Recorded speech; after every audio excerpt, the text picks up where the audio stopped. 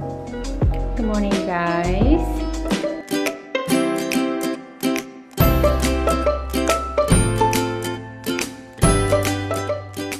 Welcome back to my channel. I am so obsessed with my outfit for the day. Let me just show you. Hey, baby. Hey, baby. Okay, this is my outfit for the day. I got this underneath. I think this black bodysuit is from Missguided, and this is from H&M. This is Fashion Nova and my shoes, if you guys can see, are Calvin Klein. A little bit uncomfortable with my big hole for the jeans. Um, I have another pair, but it's in the washer, so. But I'm not really seeing anyone like for listing appointment, so I can just dress whatever I want.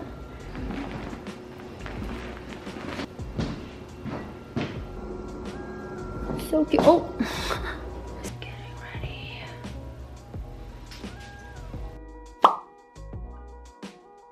Nine o'clock right now, and I've got a pretty busy day. I don't have any appointment today, but I was supposed to have a listing sign today.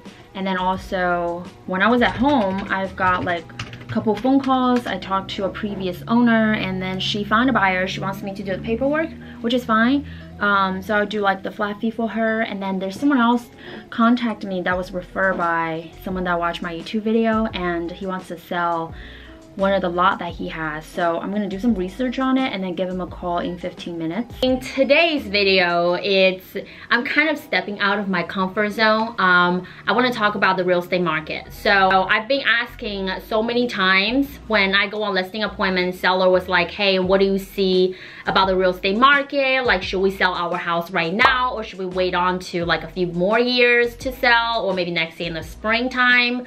Um, and then buyers come to me be like, hey, when when should we buy investment property? When can we buy it when the market is the lowest of low? So in today's video, I am going to answer all the questions for you. But first, let's talk about a few factors because when we talk about housing market, we talk about unemployment rate, that's number one. And then we talk about uh, the mortgage interest rate. And then we also talk about, you know, the supply and demand in between like different market, like what inventory you have there. But Obviously, when I talk about this video, it's pretty general broad. So I'll cover the general information and then also I will at the end talk about like Philadelphia in general. I'll give you guys some examples and then what is happening in Philly because you know, I'm a realtor here. So that's the information that I know firsthand. Okay. So let's talk about unemployment rate. Uh, right around March is when the thing happened and people start getting really scared and then a lot of houses are not really put on the market for sale and sellers doesn't really want strangers to go on look at their property so unemployment start to jump really high at April it becomes like 14.7 percent right now if the statistics on the chart Right now it falls back down to 7.9. As more states are start to opening back up, stores are start, start to open and people going back to work or they found a new job. So unemployment goes back to normal. It's a great indicator that things will be back to normal. However, that's not really good for sellers because when things are falling back to normal. People are thinking, wow, I'm okay now, you know, we can put house back on the market. So we're not really gonna experience the high that we have right now. With, there are a few factors that makes the housing price goes up in the month of September, in the month of July, August, September. When we look at the sales record, we can see at the same time of 2019 versus right now, the sale price went up even when you're in the pandemic. There are a few reasons. One is the supply and demand. When there's the same demand, but there's only a few inventories, very little supply, that kind of draws up the sale price. And then also, you know, when interest rate is super low, drops the interest rate that makes the buyers capable of affording a lot more house a lot more expensive houses. So that kind of indicate and pushes buyer to go on the market and start shopping for houses. And then also with the CARES Act government are start to sending more fundings to people and then just kind of help you get you know more situated. So a lot of more people actually have more money in their pocket so they can kind of spend on real estate or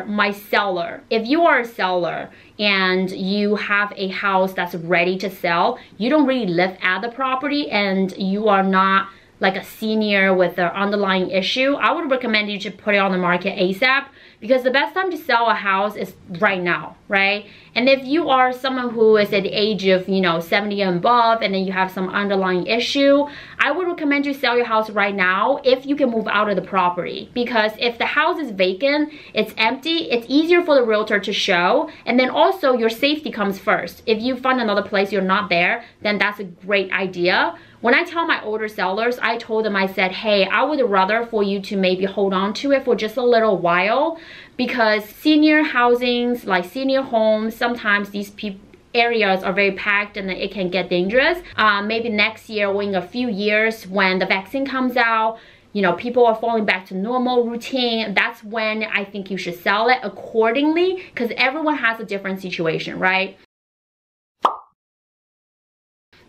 But as far as the buyer goes we have to look at different indi different indicator like are you a first-time home buyer? Are you planning on buying a property that you're going to live there for maybe more than 10 years? If that's the case i would suggest you to jump in the market right now to really take advantage of the low interest rate. However, if you are like an investor, you have tons of cash, I would probably suggest you to hold on to it for maybe another two or three more years because the Fed pretty much guaranteed and insured us that they're not going to raise the interest rate anytime soon. So a lot of people are saying, okay, yeah, but like, you know, look at the forbearance, look at the foreclosure. Well, foreclosure right now is paused. And from what I heard, it's gonna start at the end of December. If the Democrat wins the election, the auction house might be pushed even more or, you know, the eviction is gonna be postponed also. So those things are always continuously like changing, but the Fed will, and then also the government will use every policy and everything that they can think of to ensure that people don't panic you know they don't they don't just go foreclose right away. Even if you are behind with your monthly payment um, if you are behind with your monthly payment you can work with the bank. They have different plans. You can have you know maybe extend your loan. Different options for you to kind work with you instead of just foreclose your house. Because every time when they foreclose a house the bank takes the most hit and the bank doesn't want that. So, and then also like people have sayings like well is this the same as the 2008 uh, mortgage crisis? Um, no it's not. I mean 2008 when we look at the bank, they have different standards. Right now, they have really learned a lesson in 2008 where if they are approving your loan, they have to first jump up your credit score. It used to be 650, now they jump up to uh, 760, and then it used to be like 30% down, now it's 40% down. So I know this is like kind of like everywhere, but like long story short, if you are an investor, I would suggest you to keep an eye out on your current market to see like when is your auction house is going to be open? How many inventories do you have with foreclosed houses? And then how is the forbearance going in your local market? Check with the bank and you know see because those are the first-hand information that can kind of guide towards the housing market, what, what direction it's gonna go.